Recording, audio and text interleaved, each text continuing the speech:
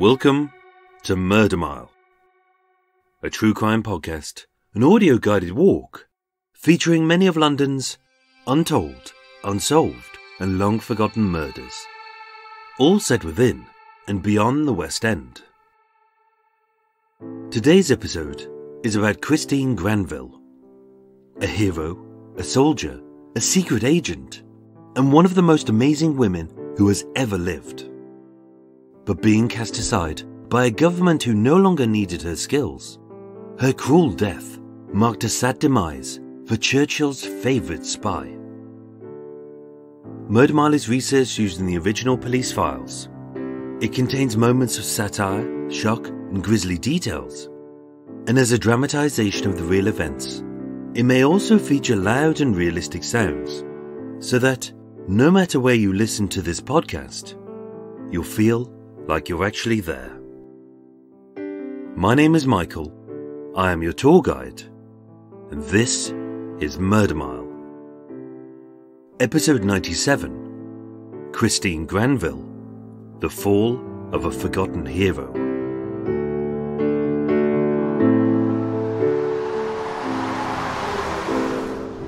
Today, I'm standing in Lexham Gardens in Kensington, W8.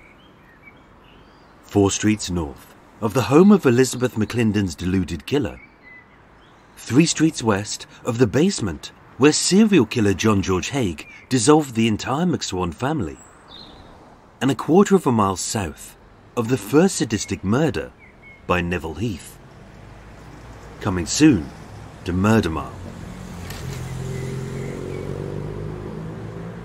Situated one mile from three of London's best museums, but nowhere near anything of interest except for a huge Sainsbury's and half a billion hotels.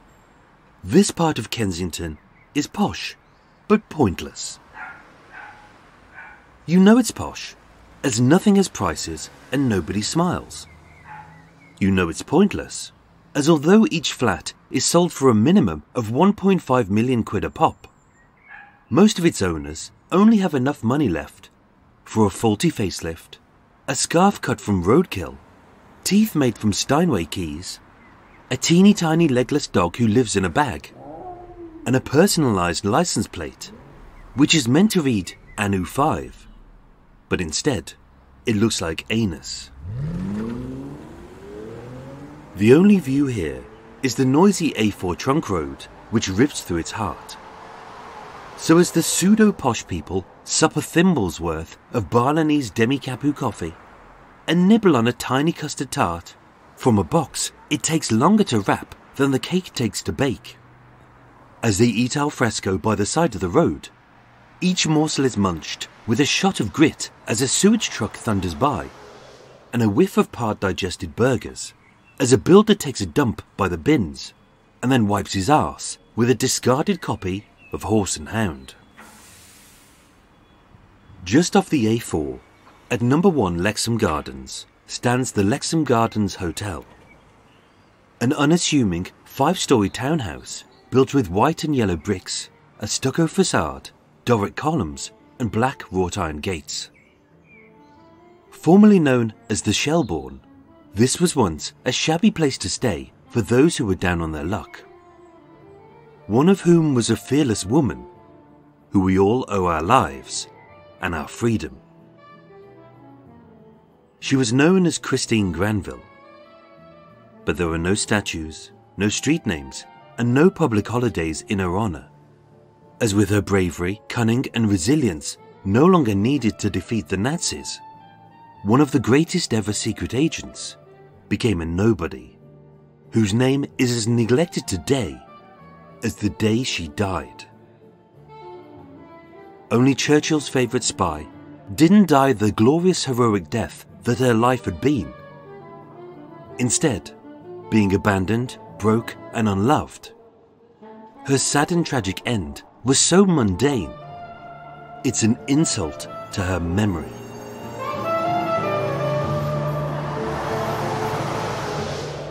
As it was here, on Sunday the 15th of June 1952, that Christine Granville was murdered. Only her end wasn't at the hands of a hired assassin a rogue state, or a bitter rival, but a nobody with a grudge.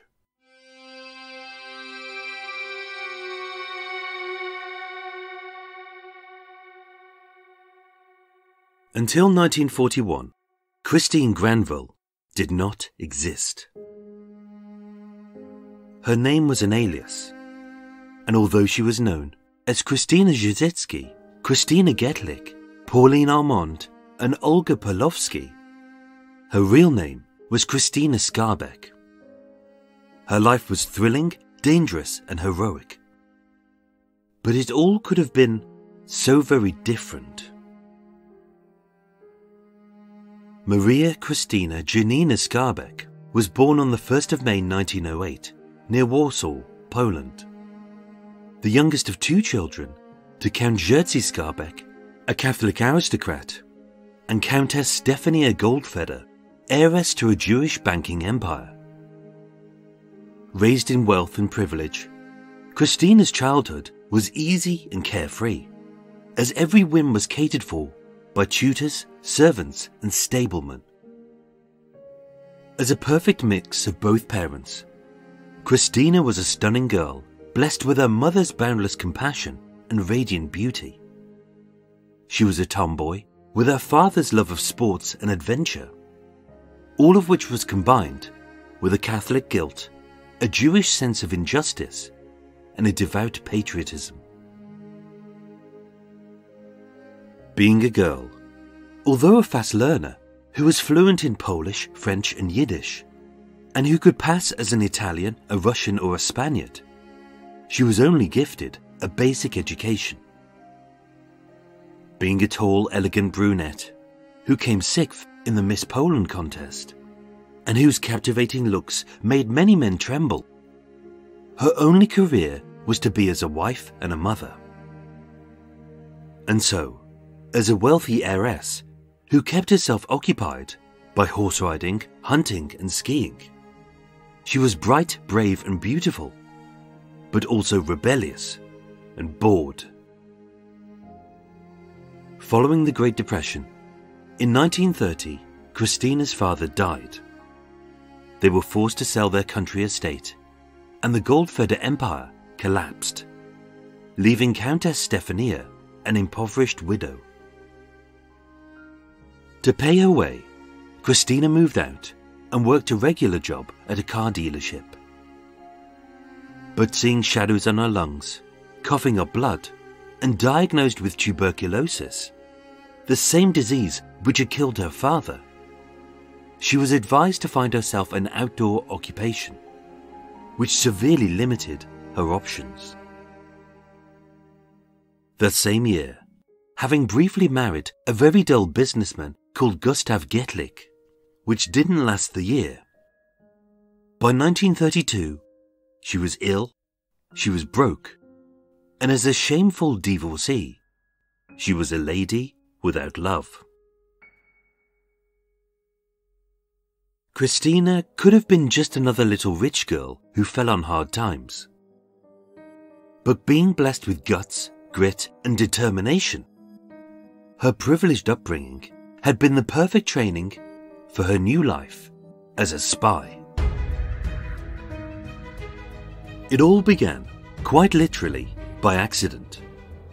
As although she was an expert skier who easily traversed even the deadliest of black runs on the mountain retreat of Zakopane, having momentarily lost her footing, Christina's life was saved by the giant physique and huge personality of Jerzy Zhizitsky. Just like her, he was wealthy, loving, and bored. Being restless, he was a diplomat and an author. And burdened by a thirst for travel, a radical brain, and a taste for danger, Jerzy was the perfect cure. On the 2nd of November 1938, they married in Warsaw, travelled to Africa, and with Jerzy promoted to the post of Poland's consular general they moved to Ethiopia. Every day was a new adventure. But the real excitement was yet to come. On the 1st of September 1939, Germany invaded Poland from the west. On the 17th, the Soviets invaded from the east. And within four weeks, their entire country was smashed and World War II had begun. Days later, Christina and Jerzy sailed to London and volunteered their services as Allied spies to the British Secret Intelligence Service. As a well travelled diplomat with a colourful past, Jerzy was accepted. But as a woman, a foreigner, and a Jew, Christina was treated with derision and suspicion. In their hands, they had the perfect spy. She was brilliant, beautiful, cunning, and bold. She was an expert skier, horse rider, and marksman. She spoke many languages. She could pass for French, Italian, Spanish, and Russian. And best of all, she would die for her country. And yet, they almost let her slip by. But being described by a high ranking official as a flaming Polish patriot, a great adventuress, and absolutely bloody fearless, Christina was given a chance. Her first mission was one she devised herself. On the 23rd of December 1939, with Hungary having allied with the Nazis, Christina snuck into Budapest, printed thousands of propaganda leaflets, and aided by her old family friend, Andrei Kowerski, she navigated cliff faces, avalanches, and deadly precipices in the sub-zero temperatures of the Tatra Mountains. And as a half-Jewish spy, she re-entered Nazi-occupied Poland, completed her mission, and then remained there to sabotage the German intelligence, free any political prisoners, and to assist the resistance fighters to escape.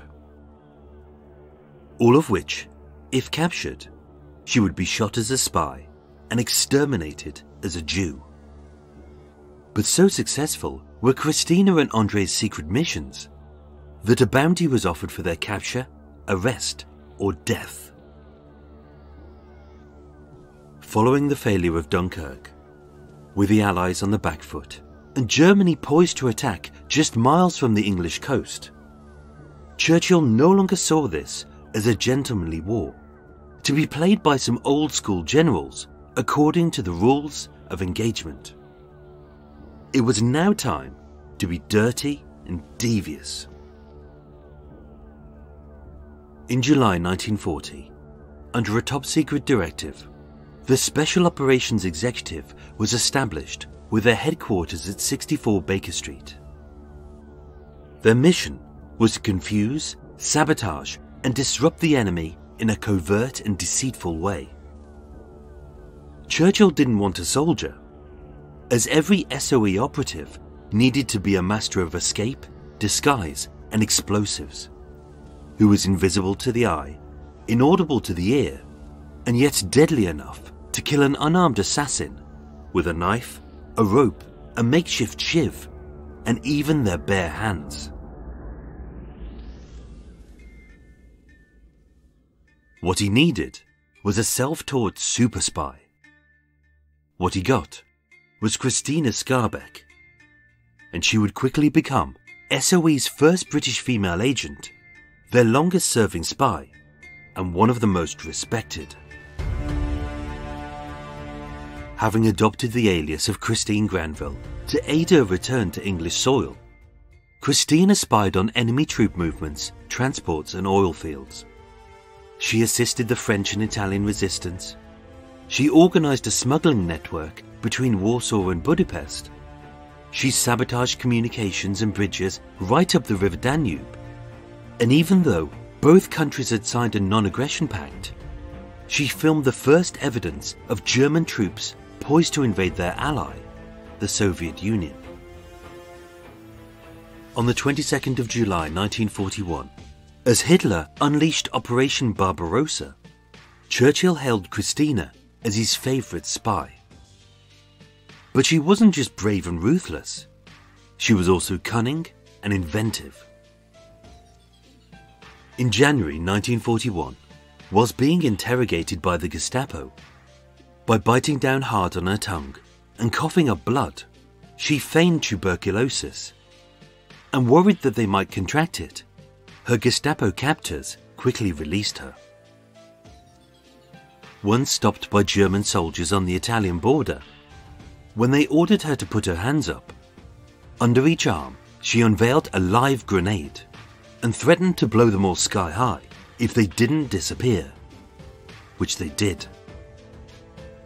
And in July 1944, having parachuted into southern France, she secured the release of two SOE agents and resistance fighters held in a Nazi prison just hours before their execution by lying, threatening, and bribing the Gestapo commander with two million francs that she didn't have. Christina Skarbek, alias Christine Granville, had survived illness, poverty, accidents, interrogation, war, and execution. There had been a reward for her arrest, a death sentence on her head, and yet, having changed the outcome of the war, across both allies and enemies, she was feared and respected. Hostilities will end at one minute after midnight tonight. But by May 1945, with the world no longer at war, her new battle was about to begin. Many soldiers had died, but for those who had survived, their homecoming was bittersweet. Gone was the thrill, the camaraderie, the four square meals, and the steady wage. As having returned to the blackened smoking shell of a country they had fought for, with their homes bombed, their loved ones missing, and their lives shattered, in a simple ceremony, their heroic deeds were honoured with a cheaply made mass produced medal. And just as quickly, these brave soldiers were forgotten. One such soldier was Christina Skarbek. On the 14th of May 1945, just two weeks after Adolf Hitler's death, Christina's service as an SOE agent was terminated. Communications ceased. She was trapped in Cairo, dismissed with a month's salary, and left to fend for herself. After six years of service and six years apart, Christina and her husband Jerzy had split. And as the Allies had siphoned off her Polish homeland from the tyrannical claws of the fascists, to now be ruled under an equally brutal communist dictatorship. She no longer had a country, a home, or a family, as both her mother and her brother had been exterminated in the Nazi death camps. To add insult to injury, in May 1947, her heroism was rewarded with Europe's highest honours, as she was made an OBE, an MBE, and awarded the George Medal, as well as the prestigious Croix de Guerre, which recognized her contribution to the liberation of France. Only she couldn't afford to live, as the British government would repeatedly deny her a work permit, a passport, and even British citizenship.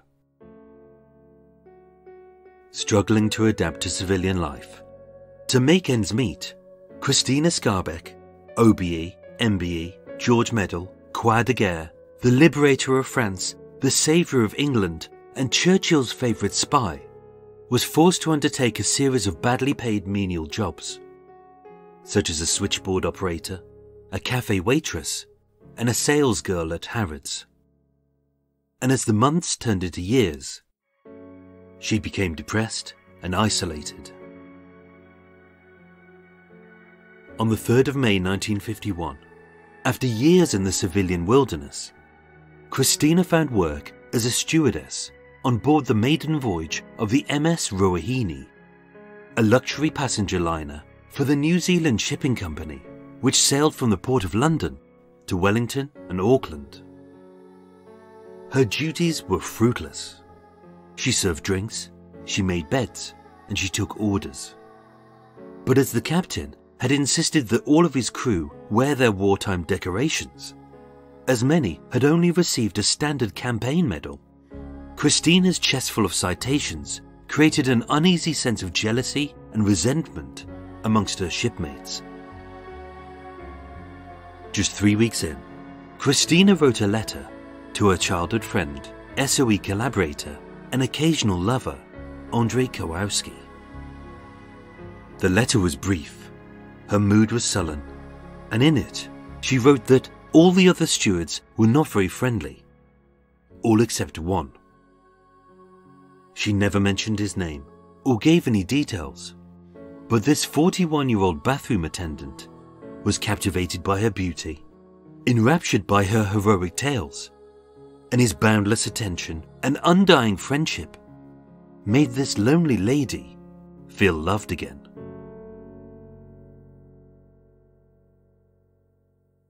Christina Skarbek was a living legend, whereas Dennis Muldowney was a nobody.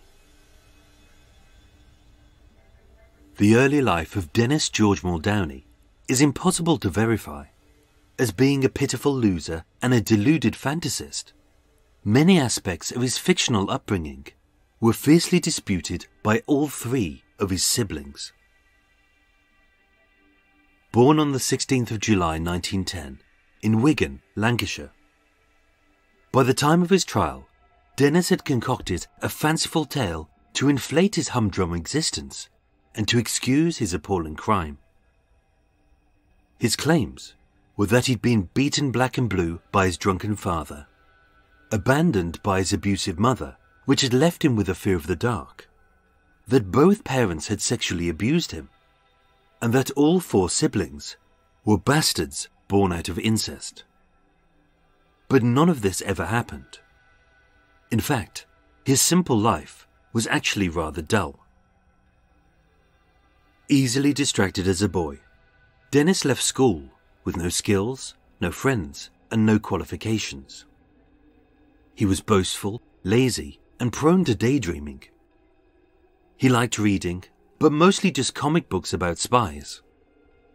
And having claimed that he'd been introduced to masturbation at the age of six, he was obsessed with sex. Unable to concentrate, between 1923 and 1952, he flitted from job to job, working briefly as an errand boy, a counterhand, a builder, a hairdresser, a butler, a fire warden, a waiter, a dispatch rider, a ship steward, and a hall porter.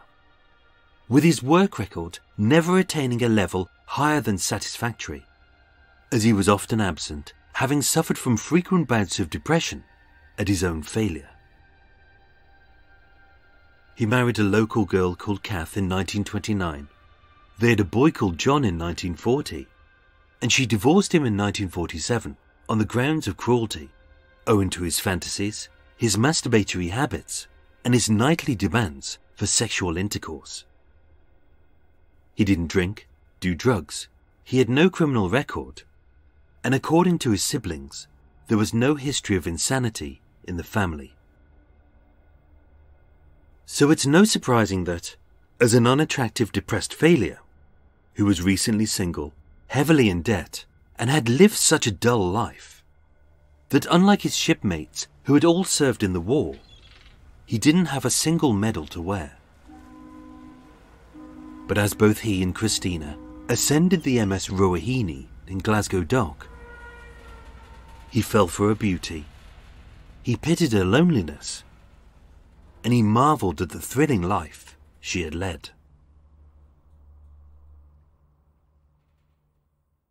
Following his arrest, he told the police about her many male admirers, of her endless sexual conquests, and how he had tried to end their passionate affair. But lured in by all the cunning of this raven haired beauty, he became her slave of love and having fallen under her spell, he later claimed, She murdered me. In truth, Christina was stuck on a cruise ship for the next two and a half months with a deluded loser. But as a woman, who had duped the Gestapo and invaded the Nazis. She knew how to keep the peace. By July 1951, having docked in London, as promised, Christina kept it cordial and introduced Dennis to her friends at the White Eagle Club. But being obsessed by Christina, he didn't talk to anyone but her. By February 1952, being convinced that she loves me and can't live without me. As he boarded his next ship, the MS Dunnottar Castle, which was bound for the Caribbean. Whilst in the company of another man, she supposedly kissed him goodbye and promised to write.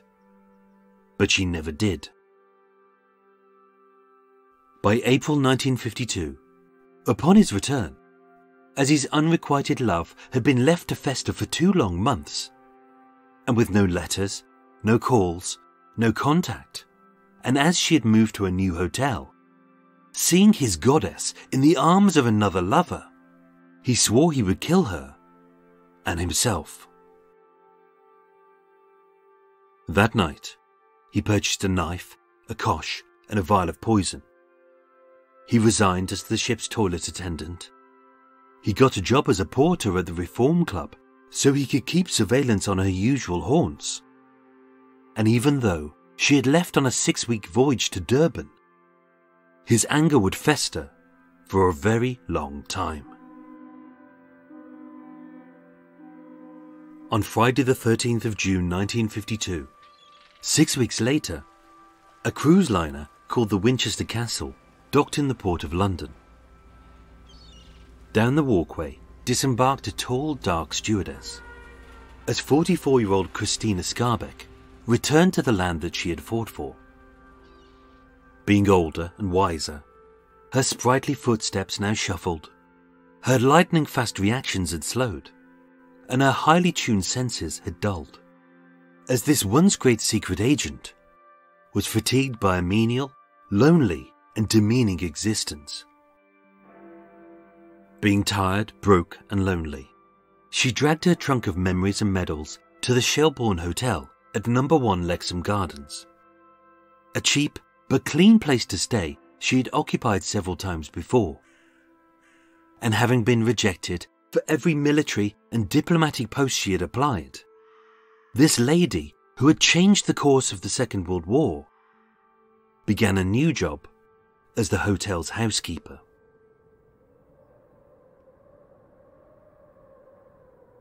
It had been another long day for Christina, having scrubbed and swept the hotel from top to bottom and all for minimum wage. She had cleaned it all, from the guest rooms to her bedroom to the dining room, all the way down the carpeted stairs to the white tiled hall by the ground floor door, where just a few moments later her dead body would lay. Being a late night, with an early start tomorrow, having popped out for dinner and a few glasses of wine, she was tired out and ready for bed.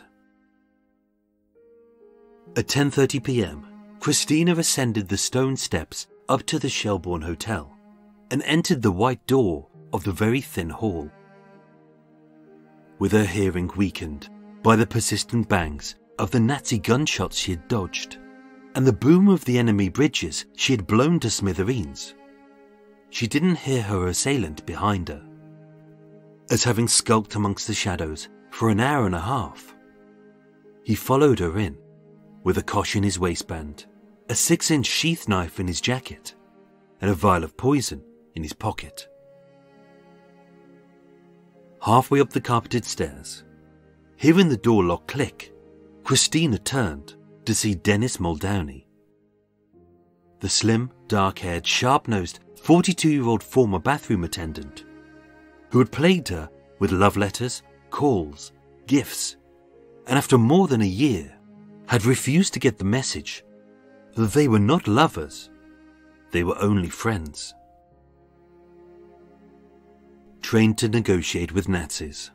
Christina didn't argue, as being too smart and too tired. In a muted voice, she calmly led Dennis back down to the hall. As she didn't see him as a threat. He was just a pest. As Christina calmly walked this pathetic little man across towards the door, having rejected many male advances before, she made it clear that she was going away and that they would never see each other ever again. For Christina, this was the end of their friendship. But for Dennis, this was the end of their lives.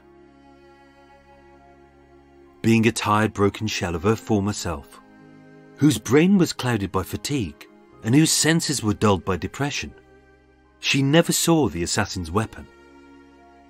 She only felt a fast thud as his fist hit her chest. But looking down at her left breast, she saw a knife's handle protruding. As the full six inch blade had penetrated her breastbone, severed the artery to her lungs, and split her heart in half. Having collapsed to the bottom of the stairs, as her legs buckled under her, Christina slumped hard against the writing desk in a crumpled heap. And with her eyes wide open, her mouth aghast, as her body cavity quickly filled. In an instant, she was dead.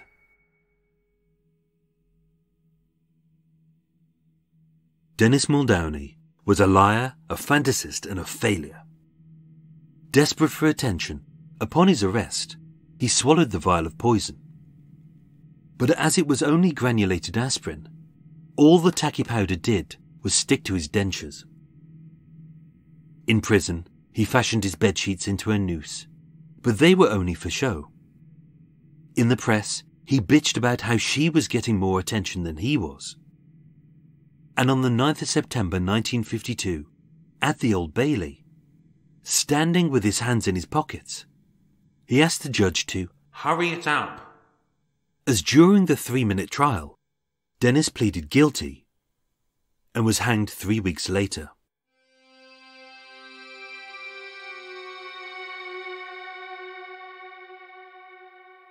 Christina Skarbek, alias Christine Granville, was the bravest, boldest, and without doubt one of the most amazing women who had ever lived. She was a self taught secret agent who had liberated countries, thwarted Nazis, rescued resistance fighters, and having risked her life, without her, we might not have the freedom and peace that we enjoy today. Except for two small memorials, organized and paid for by those who loved her, there are no statues, streets, or holidays in her name. Instead, her memory is sullied by a few tawdry tabloid articles about how Churchill's favourite spy was slain by the single blade of a deluded stalker. Only he didn't kill her. It was the British government who did. Having sacked her, abandoned her, fobbed her off with a few medals, a month's salary, and routinely denied her a passport, a work permit, and the British citizenship that she deserved. Having sacrificed everything and volunteered to protect us. As a final insult, on her death certificate, there was no mention of her heroism, her rank, or her bravery, as instead of being listed as a spy, an agent, or a soldier, having previously been a divorcee, she is remembered only as a former wife. Christina was buried at St Mary's Cemetery in Kensal Green. In 2013, the Polish Heritage Society gave her a proper headstone. And today, at the foot of her grave, lies the ashes of her friend, agent, and lover, Andrei Kowerski, who it is said she was due to marry. Her name was Christina Skarbek. She was the hero we forgot, but the one we must never forget.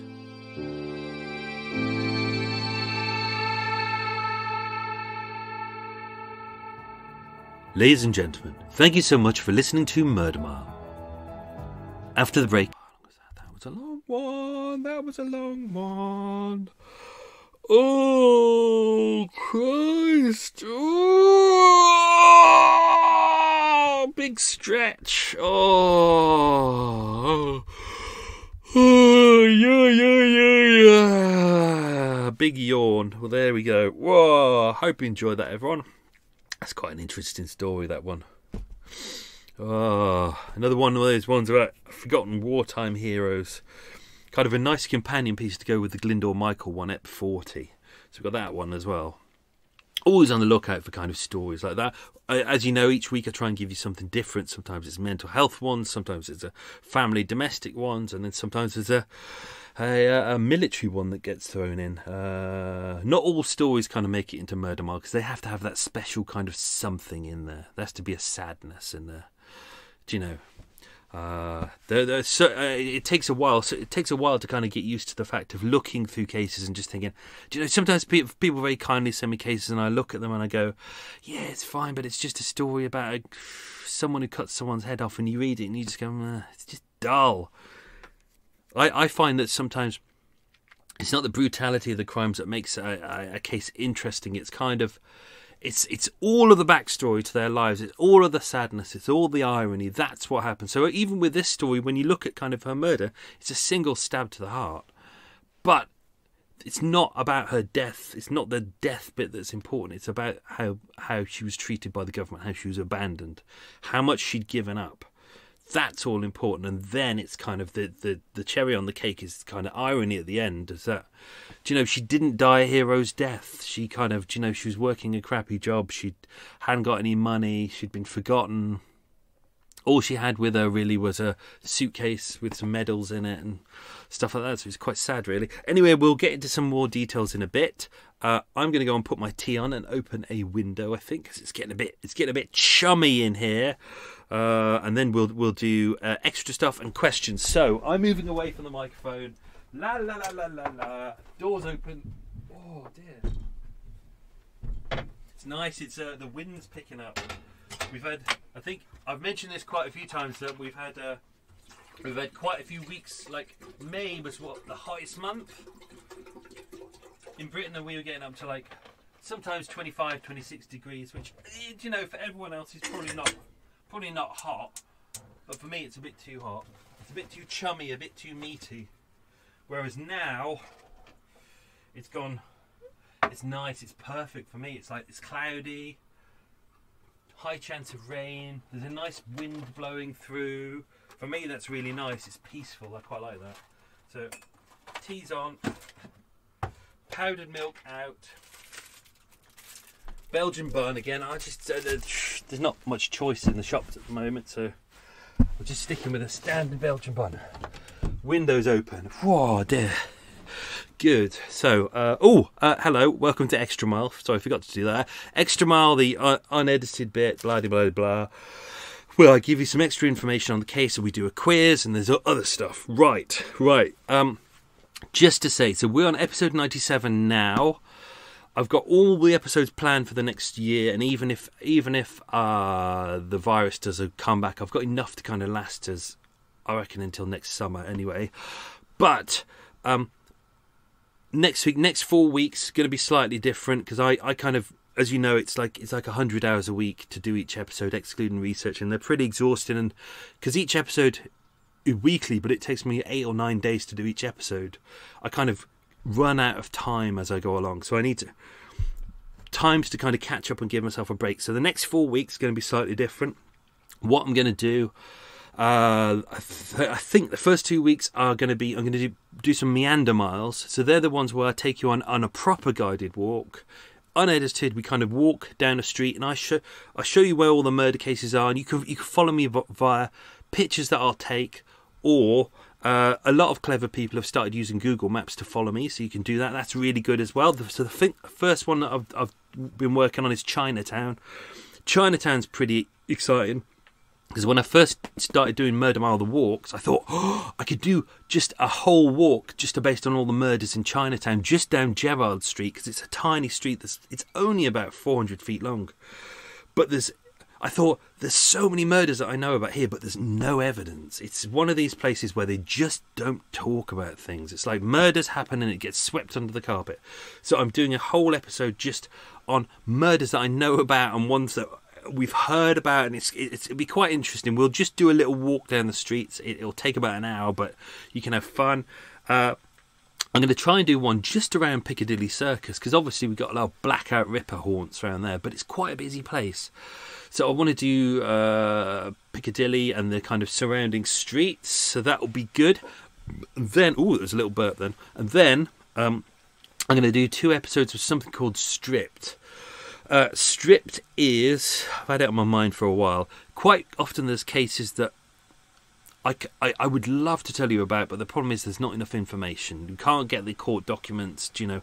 Um, so these are cases where I can't give you a full background like I would with this, where we go through a person's whole life and you learn all about them. Quite often, all we do is know a bit about the case, and that's not enough for me. Quite often, but uh, there's still a couple of stories that I think are really interesting. So what I'm going to do is stripped. Stripped has be uh, it won't be as nicely edited as regular Murder Mile. It's going to be a bit of a free-form conversation, uh, but what I'm going to do uh, is uh, uh, uh kind of uh, got my oh my energy's gone. It just slumped.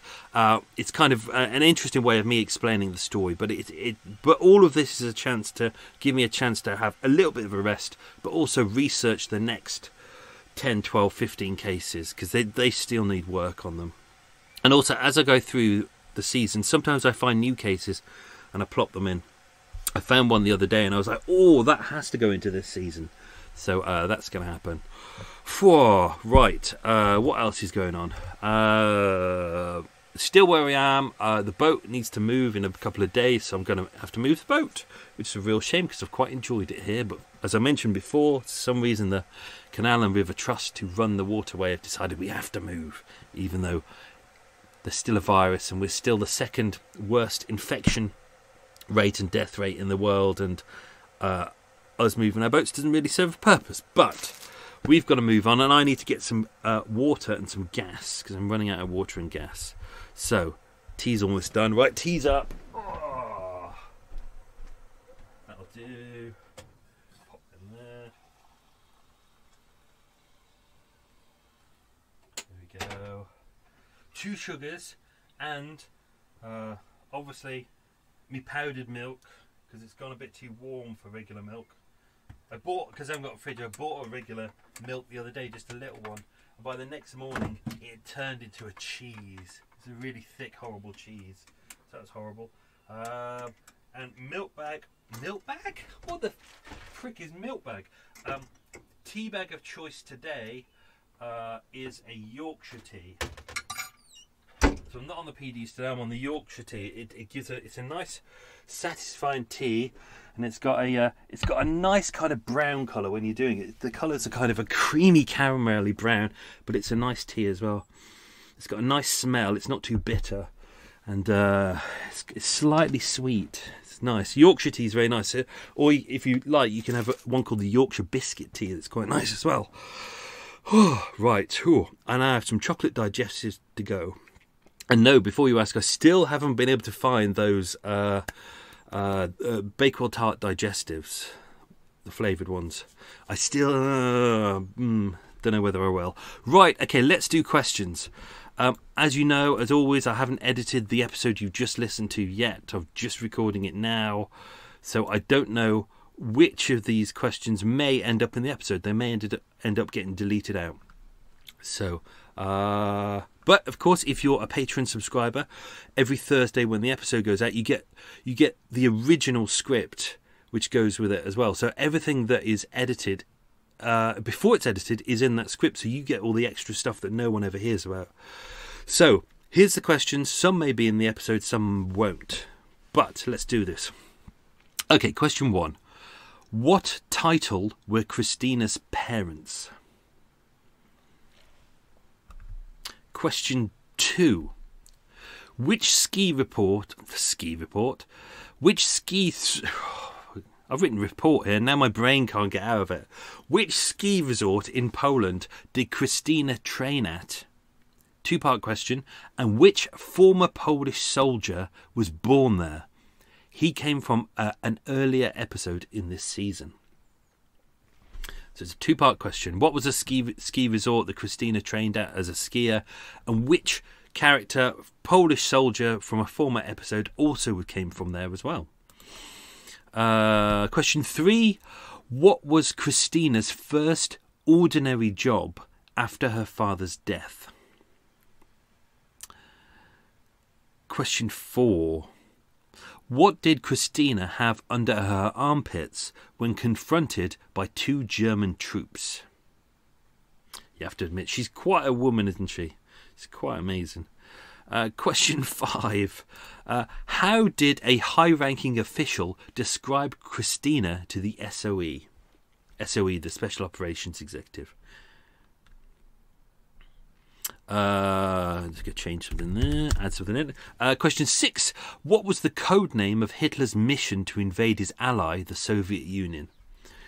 Even if you don't remember that, if you know your history, you'll know what that's called. Uh, question seven: uh, What were Christina's four awards from the French and British governments? Apart from, apart from being shat on, obviously. Uh, question eight: uh, Who were the Question eight: Who? Who? Come on, brain. Question eight. So tired. Question eight: Where were the headquarters of the Special Operations Executive? Briefly mentioned in there. Uh, the, if you're again, sorry, if you're a patron subscriber, I did a series called. Uh, uh, places which changed the world. It was a little six-part series I did. It was only for uh, uh, on Patreon, and I think episode two or three actually featured where the special operations executive uh, officers were. Uh, question nine: What three weapons did Dennis take with him to kill her and himself? And here's a tough one. Let's see if you can remember this one. Question 10. Christina was her middle name, along with Janina. But what was her first name? Because it wasn't Christina. Mm. Right, okay, let's get into some extra details about this case. Uh, as mentioned in here, thanks to Danny Rolfe uh, for. Weirdly, this was one of these cases where I'm always searching for new cases and and, and having a poke around, and I've got a list of kind of cases that I'd love to. I've got some that are in the East End, but I'm probably never going to go to the East End. And I had some because at the point of when it, um, when Danny messaged me, I was still only doing Soho and Fitzrovia and nothing further. Like I, I think I'd gone as far as Mayfair, and then uh, this I, I knew about this case. I was like, oh, it's too bloody far because it's Kensington. I'm never going to go do Kensington because I was trying to keep it all consistent. But then I got a bit bored and thought, let's branch it out a bit. So I, I actually put it on a backbone and thought I won't go for that. And then I got an email from Danny about God, about a year and a half ago, saying, "Have you ever thought about doing this case?" And I was like, "No, it's too far away from me." But you know, it's a really interesting case. And then when this season happened, because I'd already started moving into Kensington for like Notting Hill and stuff, that and one day I was just thinking, what new cases can I do? And I went, what was that? What was that email that that guy sent me ages ago? And I typed in spy into my um, into my Google, and then it just popped up. It just it was like Danny's message going, "What, what about Chris, uh, Christine Granville?" And I was like, "Of course, Christine Granville. That the chaos." Oh, and it's such a good case as well. It's so sad as well. So thanks, Danny, for that. That was a, that was a nice reminder. Uh, and it is a fantastic story. So uh, let's go into some details that uh, I didn't get into the episode. Uh, well, I definitely didn't get into the episode because I didn't record them. So, um, interestingly, it is believed that uh, Christine Granville, let's, uh, Christine Skarbek, real name, had a love affair with Ian Fleming, the writer of the 007 novels. Um, she was quite well known for uh, apparently uh, uh, they always say her sexual conquest, but you know she was she was uh, I was going to say ladies man, whatever the opposite of ladies man in uh, woman's uh, man's woman. I don't, what, I don't even know what the difference, what how to do the opposite version of that. But she liked men, she liked attention. She was very attractive. She could kind of lure in many men. She could kind of, you know, get stupid let men like me to fall at her knees and stuff like that. But she was romantically linked to uh, Ian Fleming, who was obviously a novelist, but he was a former spy himself. He was former British intelligence. Um, apparently, the two dated for about a year. Um, according to uh, the guy who was kind of Ian Fleming's uh, author, um, and if you look at uh, the Ian Fleming book Casino Royale, you see there's a character in there called Vesper Lynd. and Ves- Vesper Lynd is kind of the, the double agent that, that's in there. Um, a lot of the exploits of Ve- Vesper Lynd actually mirror what Christine Skarbek did. And interestingly, when you look into, I, I, saw this only when I was going through the original police files and looking at her back history. Um, Christina's nickname from her father was Vesper. So, um, yeah. It's, it's uh, many people have used uh, Christine Skarbek's story as kind of a, a um, a, a, kind of a good template for kind of really really fascinating characters.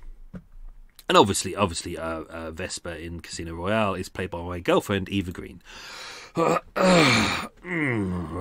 thank God I'm sitting down. Right. Uh, interestingly, there was a letter in the file that I was going to use in here because it gives a kind of interesting insight into uh, Dennis Muldowney's brain. It was a letter that was sent from Brixton Prison after he was arrested. It was a three-page letter, a massive rant, but I I didn't put it all in. I didn't copy it all down, but there's some interesting bits. So this was dated 11th of September, 1952, from Brixton Prison, and he sent it to his uh, his siblings, who were Jack, Frank, and Marie. I'm just going to read bits of it. It kind of gives you any good insight into kind of his, his thought pattern. So this was from Dennis. Dear Frank, Jack, and Marie. I'm not going to do the voice. You may, he, he doesn't say that, that's me saying that. Uh, you may as well know that I hate to write this letter. I would rather keep silent. I, I would have done I would have done just that had it not been for Frank's abortive attempt to see me, because I know what it much must cost him, the shame. Uh, there is never, nevertheless, there is nevertheless the that unfortunate fact, the blood tie he's writing is all is really appalling, which must affect you three. That is my one regret. Nothing else. Underlined exclamation marks. He says he's got no regrets about what he did. Christine, literally and metaphorically, asked for that for that she got. I am sorry, but that's the truth. She hadn't jilted me, as the press ha- has it. She wanted me put on ice. She wanted to put me on an arrangement which was quite unacceptable for me as an as a man. Uh, I didn't write all of this in, but he says he, he references not re- lamenting the past or worrying about the future. Then, uh, much the same as Christine, however, she was not all that younger than I am, uh, and she was getting a little rough around the edges, which is very kind of him. Uh, as she was well aware. Anyway, I have no kicks. We really had something, she and I. Um, it may have been a little bit stormy, but it was never a bore.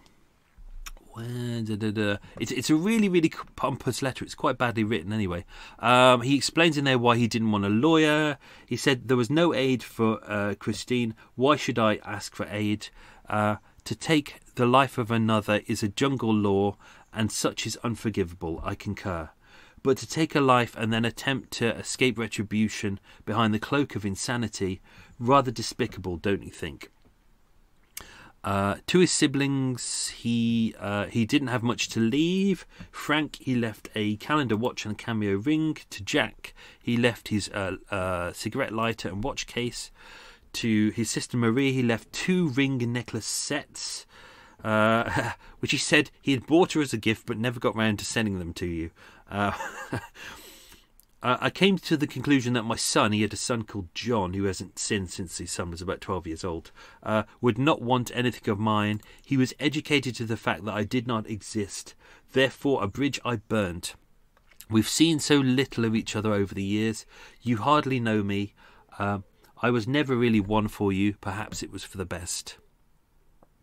Uh, he asks for one wish, which obviously didn't happen. Uh, once you have read this letter, burn it. Uh, uh, although, because uh, this letter probably came from the prison, the prison probably copied it. Um, uh, burn it. Then I want you to burn all of my personal letters given to Christine. I do not do not discuss me with sympathetic relatives. Try hard to forget I even existed. And then there's a PS on the end, uh, which says, "And John, who is his son, Uh, perhaps one day, one of you will tell him I am very sorry. Uh, she, Kath, i.e., his uh, ex wife, made it impossible for me to ever see him. I cordially detest her as a wife. She is, she is a complete flop. What a lovely man. Anyway, um, time, time of the murder, when the murder was happening, um, there were a couple of people in the hotel working at the time. Uh, I didn't put them into the story because I felt we'd already kind of done everything we needed to. But uh, there was a hall porter at the Shelbourne Hotel. Uh, uh, Joseph, uh, a lot of Polish workers here, so um, which is why Christina was working there as well. Uh, he heard two screams, ran into the hall, saw Dennis standing very close to Christine. He pulled Dennis off her, uh, and he pulled Dennis onto the stairs uh, near the lounge doors. Uh, there was a struggle, and Dennis was shouting, "I want to see her." He said that twice. And Dennis said, I killed her because, because I loved her. And with the aid, aid of the manager, he held him down until the police arrived. Uh, he, had, he said he had not seen Dennis here before. There was also an off duty hall porter there as well called Michael. Uh, quite often in uh, a lot of the hotels, because there's a bar there and there's a place where you can get good food. And don't forget, this is an era where most people don't have their own kitchens, which is why in a lot of these stories you hear me saying people are eating out is because they live in flats and all they have is like maybe a, a little stove where they can boil some water but they don't have, really have a, a kitchen uh, so a lot of people eat out and actually eating out is quite cheap as well uh, the hall porter was there michael um, that's good timing my neighbour's just turned up so his generator is going to go on in a bit um, uh, Michael Perlak was there. He was in the lounge. He heard a very long scream. He ran into the hall. Uh, there was a big struggle going on. Um, uh, Christina had collapsed on the floor. He tried. He did really didn't know what was going on at that point. He tried to lift her up as he thought she had fainted. She was still alive, but she was slowly slipping down the wall. Uh, if you look into the photo, I've posted some photos on um, the, all of the crime scene photos, the original ones, never seen before, are on the Patreon account. You'll get those. I might post one or two rare ones uh, on my uh, blog, so if you can have a look on my blog, or it might be on social media. Not all of them, but maybe a few.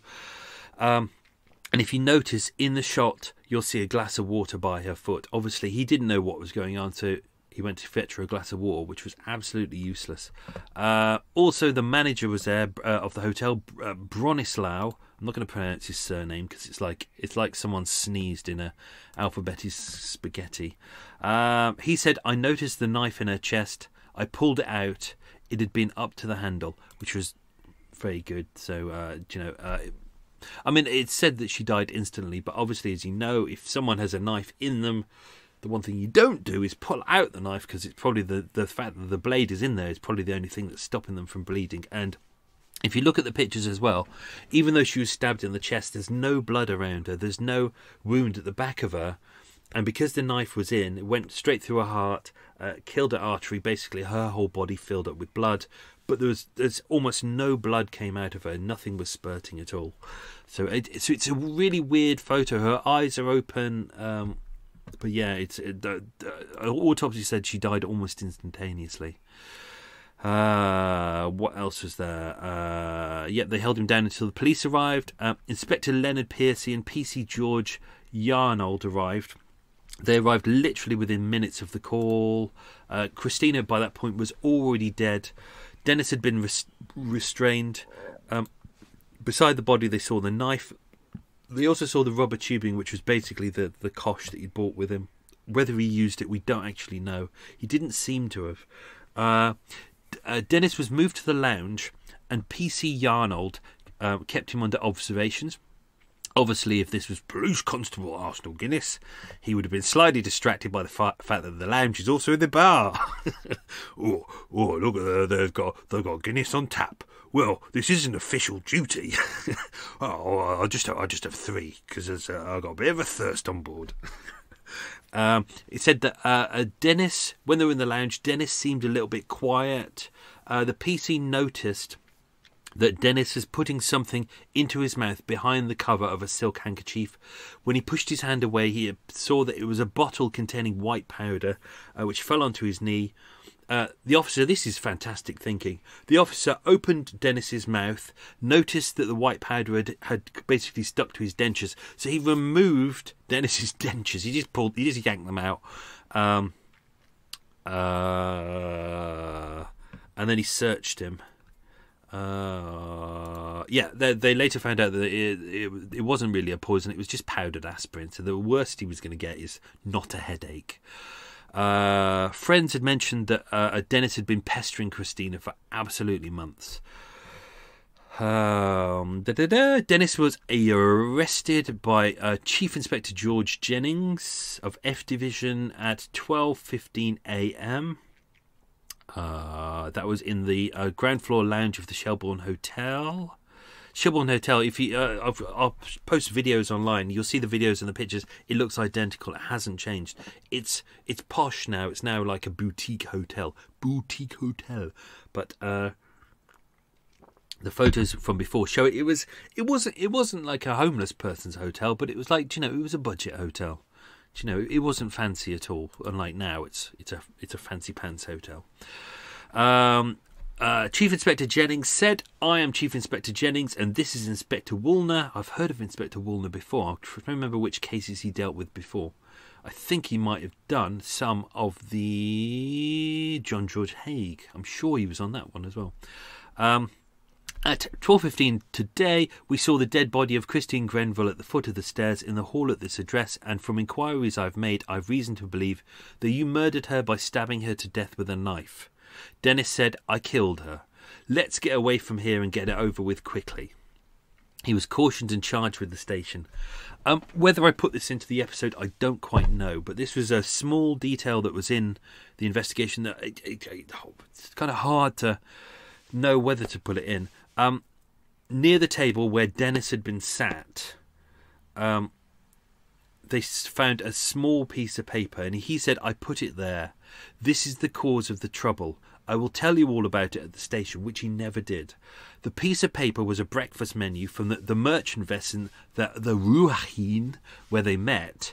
Um, and on it, on the back, uh, was the name Christine Granville and her phone number, which was WES 2619, which is what they'd given her. Which meant to be what he gave her when they met about a year ago. But this is the other thing that's not explained. If you look at the crime scene photo, you'll see the picture of Christine Granville. And in her left hand, you'll see a pencil. So it's not explained whether that was a number she was giving him now, but it wouldn't make sense why she was giving him a number that number now, or whether she was writing something else, or we don't we just don't know. We just don't know. There are lots of details that are a little bit weird. Um, what else we got? What else we got? Uh, yeah, doctor arrives at uh, 11 p.m. Obviously, that was pointless because he'd confirmed that she'd been dead for about 30 minutes. Um, in the report, it says that a man claiming to be Andre Skarbek uh, went to Kensington Mortuary uh, and identified her body. Problem is, Andre Skarbek is her brother, and he died of TB in a uh, German prison cell a couple of years before. So it's not too sure whether the person was pretending to be her brother or whether it was actually her lover, Andre Kowerski. So, uh, who who was in the UK at the time and was going under the uh, the name of uh, Andrew Kennedy, I think he was under. Whew. Anyway, right, okie dokie. Uh, the night before they went to court on the 11th of September 1952, a pre a prison officer found that he had torn up his bed sheet, uh, which could have been made into an, a noose. And uh, Dennis said he was fashioning it into uh, um, a, noose, uh, but he, he, wasn't really using it, and that the prison cell was incredibly dirty. Um, he said he threatened many times to kill himself, but he never did. Uh, prison staff said he was clearly an exhibitionist and a fantasist and showed no signs of insanity. Uh, as mentioned in all, all, of the interviews, he um, um, he loved being interviewed. He loved the sound of his own voice. He loved telling his life story, even though it was dull. Uh, he likes to feel that he's impressive, uh, but he would get incredibly gener- uh, jealous anytime anyone would mention Christine, as he felt that he should have been the attention of the interview and not them. Uh, he used his hands a lot. He was very expressive. Um, everyone said he was very much uh, acting, acting the part. The trial was held at the Central Criminal Court, which is the Old Bailey, under uh, Mr. Justice Donovan. Uh, as mentioned, he refused legal advice and pleaded guilty. His tone in court was described as impertinent, and when sent, but when sentenced, he became more respectful. Uh, obviously, because he pleaded guilty, there was no point going to a trial. The trial lasted just three minutes. He stood there with his hands in his raincoat pocket. Uh, the clerk of the court said, You are charged with the murder of Christian Granville on the 15th of June this year. Are you guilty or not guilty? Dennis replied, Guilty. Judge Donovan said, Do you intend to he- adhere to the plea? Because if you do, there is only one thing left to do, and that is to pass sentence. Dennis said, Quite. I would like you to do that as soon as possible. The judge said, uh, Are you still determined not to be defended? Dennis said, Quite. Uh, asked if there was anything to say in his defence, he said, I have nothing to say uh, whatsoever. So the judge put on his black cap and sentenced him to death. Obviously, during that, he, he asked uh, the judge to hurry it up. Uh, he also had a previous trial. Obviously, his committal was at West London Magistrates Court on the 16th of June. At that court, all you have to do when you go there is just say, uh, "Are you da da da?" and you go, "Yes." Uh, you've been found guilty of this. Yes, I understand that. Uh, he was held at uh, Brixton Prison. Let's go to the execution. So the execution was held on the 30th of September 1950. Obviously, um, just three weeks after his trial because he pleaded guilty and he didn't want any appeals process. So there was no appeals process. Basically, they just set a date for his execution. and It was done. 30th September 1952 at 9 a.m. This is at Pentonville Prison. So that's North London. That's kind of uh, uh, North, uh, yeah, King's Cross. Um, what? Who was it? It was. This was actually the first. That can't be right. No, I'm not going to say that because I think that detail is incorrect. Uh, what else? Oh, okay, yes. Um, uh, when they interviewed Andre afterwards, after her murder, he said that they were planning. Uh, she was planning to travel out to see him two days later, and they were to be married. So that was Andre Kowerski, who was Andre Kennedy. Um, as mentioned on a death certificate, you know, her name is misspelled, which do you know it makes sense. Do you know, um, do you know she used multiple names, so do you know that sometimes happens. Her age is her age is incorrect. They put her as thirty seven, but that make, that's fine. Do you know because she did she did change her age quite a few times. She was forty seven, but on there it says it's thirty seven. Even on her gravestone, her age is actually incorrect. Um, but I think what's most galling about this is, you know, didn't have her down as. Uh, spy hero, secret agent, or soldier, or do you know her title, which was uh, flying officer? Um, do you know nothing like that? They they just put her down as former wife. Do you know? Do you not? Do you, didn't even put her down in the job she had at that moment, housekeeper, which was her job. They just put former wife, not even wife, just divorcee, former wife. I mean that that shows the era and the age and massive disrespect. Uh, buried in St Mary's Cemetery in Kensal Green. It's a lovely cemetery. You can have a good old walk walk around. Um, in 1971, the Shelbourne Hotel was bought by a Polish group. In the storeroom, they found her trunk containing her clothes, papers, uh, an SOE issue dagger.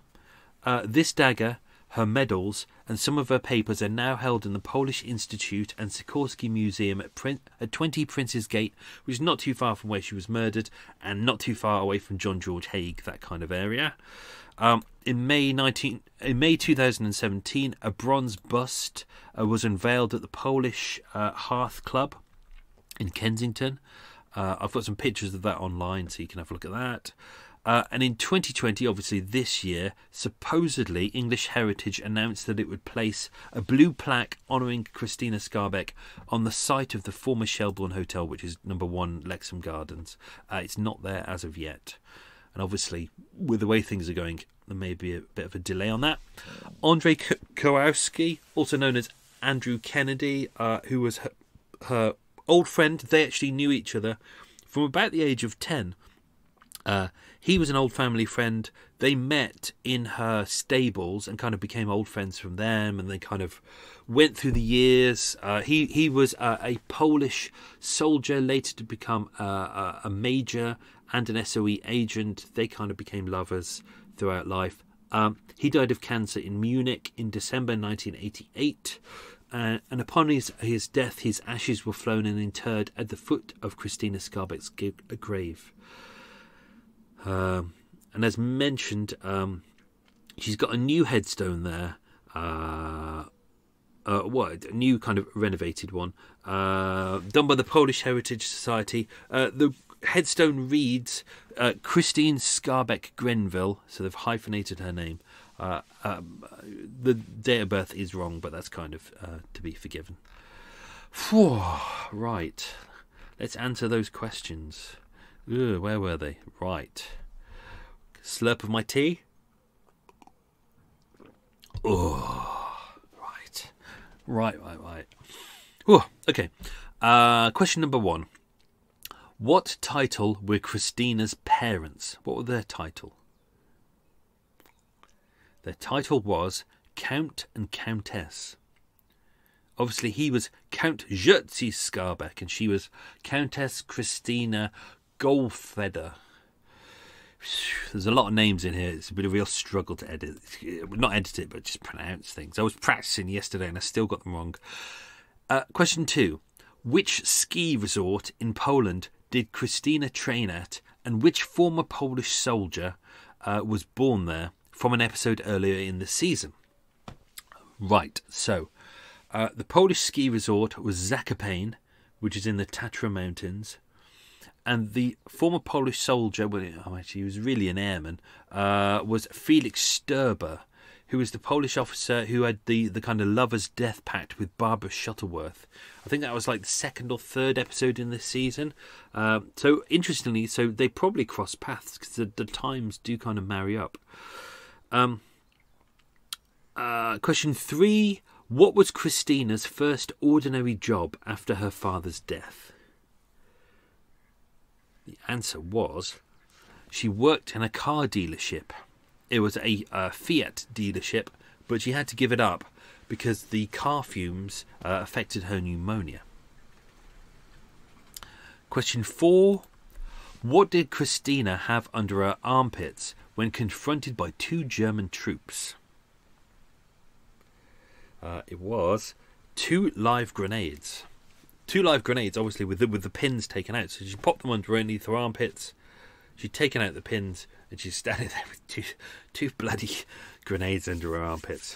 Fantastic. That's a great. Uh, her, her thing was, you know, you know, if you come near me, basically, I'm going to die, but you're going to die as well. Uh, obviously, the, the, the, it was two German troops, and obviously they were wise enough to go, yeah, this isn't worth dying for. uh, question five. Uh, how did a high ranking official describe Christina to the SOE, Special Operations Executive? His exact words were She's a flaming Polish patriot, a great adventuress, and absolutely bloody fearless. I think that's a fantastic way to describe her. Uh, question six uh, What was the code name of Hitler's mission to invade his ally, the Soviet Union? That was Operation Barbarossa. Obviously, she was she was the uh, she got the first footage of that, the first proof that uh, actually G- German troops were massing uh, on the border, ready to invade uh, uh, Russia. Question seven: uh, What were Christina's four awards from the British and French governments? she got an OBE, uh, which was pretty amazing because uh, normally that kind of award you, you, would only give to people who are kind of, uh, I think they say it's lieutenant colonel and, and, above, and she was given the honorary award of flying officer. Um, so uh, that was pretty amazing. She got an MBE, which many kind of uh, female agents also got as well. she got the George Medal, which is it's for civilian acts of valor and the Croix de Guerre, which is a, a very prestigious French award. Uh, so it's the OBE, MBE, George Medal, and Croix de Guerre. Uh, uh, question eight: uh, Where were the headquarters of the Special Operations Executive based? That was at 64 Baker Street. So a place that we've visited many many times before on Baker Street. Uh, and there's uh, there'll be uh, I'm going to post that video on uh, on my website as well, so you can see that. Um, question nine: What three weapons did Dennis take with him to kill her and himself? They were a sheath knife, a cosh, and a vial of poison, which obviously, as we know, was granulated aspirin. Uh, kind of weird because in that era you could kind of get a lot of poisons quite easily. Uh, well, things that we would regard, regard as poisons now, like strychnine, was still being used as kind of a, an to an antidote to many things. So it's kind of weird that maybe he just maybe he just was the type of person that you go into a pharmacist and people go, "I'm not going to give you anything except an aspirin." Uh, question ten: Christina was her middle name or one of her middle names, along with Janina. But what was her first name? Her first name was Maria. So there you have it. There you have it. That episode, that was good. Oh, I just need to sit down now and get this done. It's Friday now. If I slug my guts out now, this might be done by Sunday evening. I think. I hope.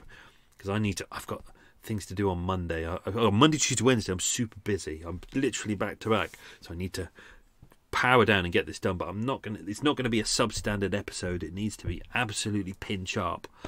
Poor dear. So I hope you enjoy it. Uh, that was that.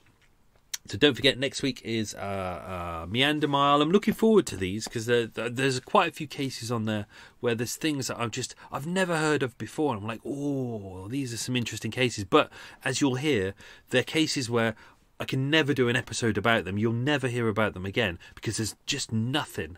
Like there's people people in Chinatown just don't talk. They don't talk about any cases. So uh, that's why I'm doing an episode on that, and then we'll do the Piccadilly, and then we'll do the do the uh, the the uh, what they called the new episodes that I can't remember what I'm calling them. Begins with an S, I think. Oh, my brain's gone. Anyway, that's the end of the episode. Hope you enjoyed that. That was a long extra mile. I'm going to shut up my face. I'm going to drink my tea. I'm going to have my cake.